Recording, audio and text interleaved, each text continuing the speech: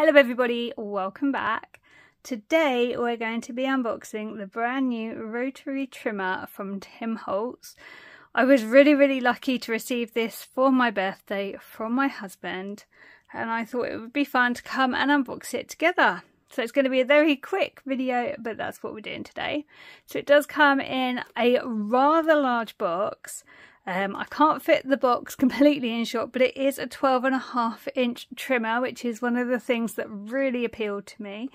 Now my box has got a little bit of damage. You can see it's just there and there. Now I don't know whether that happened in transit or whether it's where my husband had it hidden somewhere. I honestly don't know, but the box is just a kind of cosmetic thing anyway. So let's see that's obviously what it's going to look like when we get it out of the box. There's lots of information on the box. So let's get this open. I don't think there's any sticky tape, so there we go. We can just undo the top and slide it out. There is some cardboard inside as well. Here we go.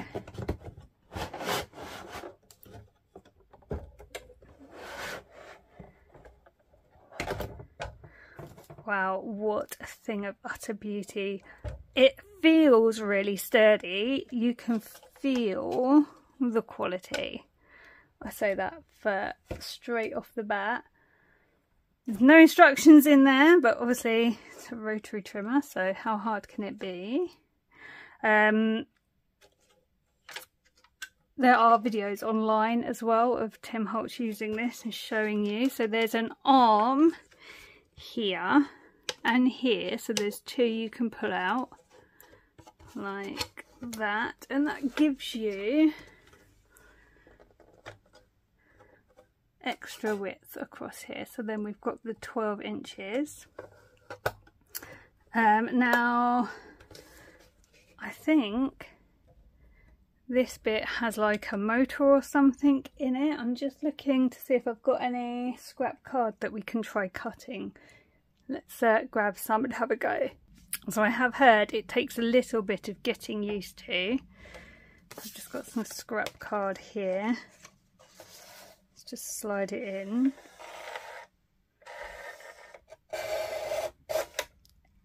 It does make a very satisfying cut noise. Cut nicely. I don't feel any resistance on it. I thought someone said there was a bit of resistance. But I'm not really getting that. So, okay. Now, I'm noticing on the actual bed, there's various different measurements. So that you've got 4 by 6 there, 3 by 5 2 by three and a half. So there's different measurements for different size cards. There's 12 inch, so I'm guessing that can't be the half. How is this 12 and a half? I don't know. Okay. Um, so we have inches along here, we have centimetres at the top, then we have inches in the middle and across the top and the same at the bottom. So you'll always be able to line your paper up, which is nice.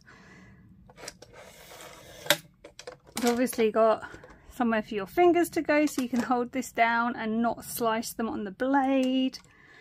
So yeah, really looking forward to trying that out, putting it through its paces and then I will come back and let you know what I think. But I am really happy to have that. It's kind of a backup um, for my paper trimmer my paper trimmers get absolutely hammered. If you saw my recent video, I have just invested in a brand new trimmer and I'll be doing a review on that soon. So when I have used this one for a few weeks, I will come back and do a review on what I think of these. My review videos aren't sponsored, they're just my opinion. I'm not paid to do them.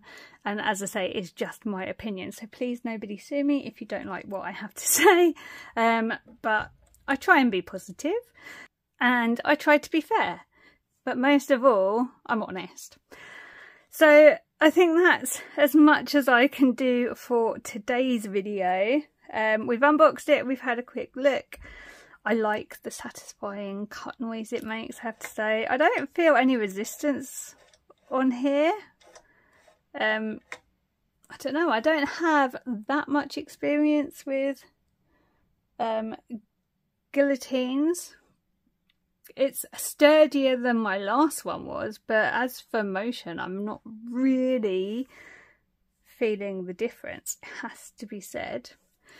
But we'll see. I'll use it for a few weeks and then I will let you know what I think. So thank you so much for watching today. Let me know what you think of the trimmer in the comments section. Let me know if you have this and you have any tips for using it. And I will be back soon with more videos. So until next time, thank you so, so much for watching today. Take good care and I'll see you soon. Bye for now.